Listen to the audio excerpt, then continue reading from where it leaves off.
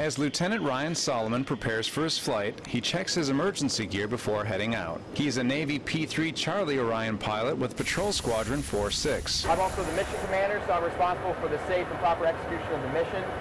and Make sure that our objectives are met and that the uh, mission is conducted in a proper fashion. Let's get out of here. The P-3 is a maritime surveillance and anti-submarine aircraft. After the Maverick missiles are loaded, the 11-person crew takes off and heads for international waters. Our mission today, uh, we're escorting an aircraft carrier, pretty standard mission for us. During the flight, three sensor operators make sure that nothing below, on, or above the surface of the water goes undetected.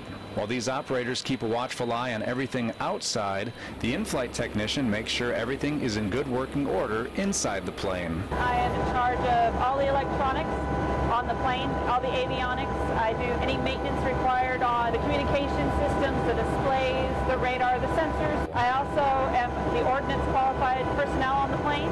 So these buoys, these are mine. The buoys can be dropped into the ocean and detect submarines when the mission calls for it. Also on board, the flight engineer who sits between the two pilots. We'll monitor the engines uh, during flight for operation, uh, just in case there's any malfunctions or emergencies. I'll handle that accordingly. You never know what's going to happen on the plane or during the flight. Which makes having a good crew that much more important. Uh, I really enjoy my job.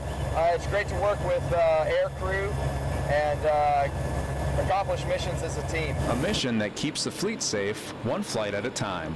Reporting from Southwest Asia, I'm Air Force Master Sergeant Ryan Cruz.